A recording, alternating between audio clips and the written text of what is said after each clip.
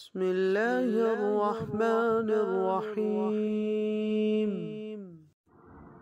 असलकुम नाजरीन आज हम स्मोकी तंदूरी नूडल्स बनाने वाले हैं। साथ ही दो ऐसे टिप्स भी शेयर करेंगे जिससे आपके नूडल्स भी मार्केट स्टाइल बनने लगेंगे। जी हाँ नाजरीन बहुत इम्पोर्टेंट टिप्स है। इसलिए वीडियो को आखिर तक देखें।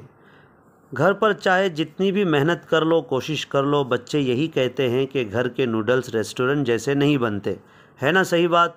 आप सबके साथ भी यही होता होगा। तो चलिए आज बच्चों के फेवरेट डिश का सॉल्यूशन देख लेते हैं। यहाँ हमने ली है कुछ सब्ज़ियाँ, जिसमें है एक बड़ी शिमला मिर्च, एक बड़ा गाजर, वन कप बंद गोभी बारीक कटी हुई और एक बंच स्प्रिंग ऑनियन जिसकी प्याज को हमने काट कर इस तरह अलग रख लिया है। हरी मिर्च, लहसुन और अदरक को बारीक चॉप करके रखा है। ये आप अपने टेस्ट के हिसाब से लें। हमने फाइव टेबल स्पून के बराबर यूज़ किया है। और ये 150 ग्राम के नूडल्स के पैक है जो कि हमने दो लिए हैं। 250 ग्राम चिकन को स्क्रीन पर बताए हुए हिसाब से मैरिनेट किया है। इस जगह आप सिंपल बॉयल चिकन भी इस्तेमाल कर सकते हैं। हमने 250 ग्राम चिकन ली है, वैसे तो दो पैकेट नूडल्स के लिए 100 से 150 ग्राम चिकन भी काफ़ी है। जब पानी को हल्का उबाल आए, उसमें नमक और टू टेबल स्पून तेल ऐड करें और आम तौर से जैसे नूडल्स बॉईल करते हैं, वैसे ही करें। और छलनी में निकालने के बाद किसी टोंग से ऊपर नीचे करके भाप निकाल लें। ये बहुत ज़रूरी स्टेप है। चिकन हमने फ्राई कर ली है।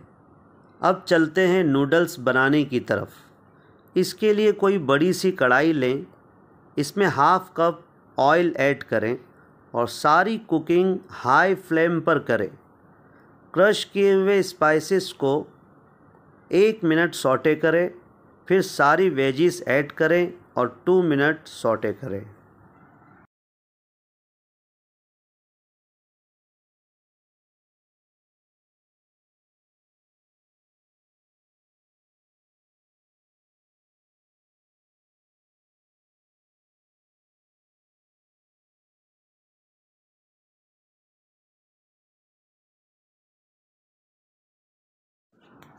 अब तीन से चार tablespoon soya sauce add करें और नूडल्स ऐड करें। अच्छी तरह मिक्स करें और दम दें। अब आते हैं टिप्स की तरफ़। अच्छे रेस्टोरेंट और होटल्स में नूडल्स या चाउमीन्स बनाने के लिए तिल का तेल इस्तेमाल किया जाता है, जिससे सौंधी सी खुशबू आती है। और चाइनीज़ वाले तो नॉर्मल ऑयल ही यूज़ करते हैं, लेकिन बड़ी सी कढ़ाई को हाई फ्लेम पर बनाते वक्त जो आग कढ़ाई के अंदर भी लगी रहती है, इस वजह से भुनी खुशबू आती है।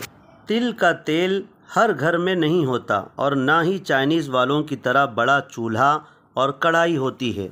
इसलिए आज हम इन दोनों ऑप्शन को छोड़कर एक तीसरा ऑप्शन बताएँगे जो हम हमेशा करते आए हैं, और इससे नूडल्स लाजवाब बनते हैं। वो है कोयले का तड़का। हमने साइड में कोयला जलने के लिए रख दिया है।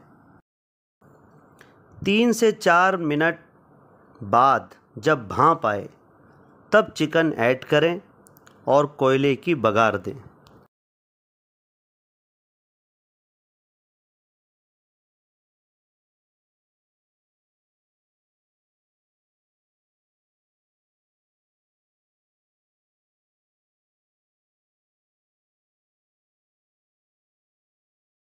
बस, ज़बरदस्त होममेड और हलाल स्मोकी तंदूरी नूडल्स तैयार है।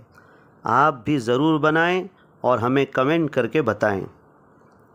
बग़ैर अजीना मोटो के ये रेसिपी बहुत ही बेहतरीन बनी है और जो सॉस हमने यूज़ किए हैं, वो चिंग्स के नहीं यूज़ किए हैं नॉर्मल लोकल ब्रांड के यूज़ किए हैं। वीडियो पसंद आए तो लाइक करें शेयर करें चैनल पर नए हैं तो सब्सक्राइब ज़रूर कर लें।